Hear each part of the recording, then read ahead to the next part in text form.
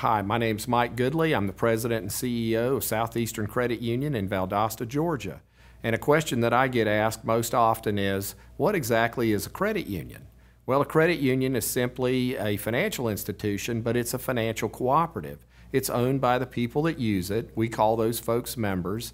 And, and to join is very easy. Uh, you open an account and make a $25 deposit. That's not a fee, that's your money.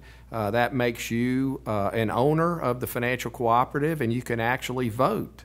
Uh, uh, on issues that affect the credit union to include uh, folks that serve on the board of directors.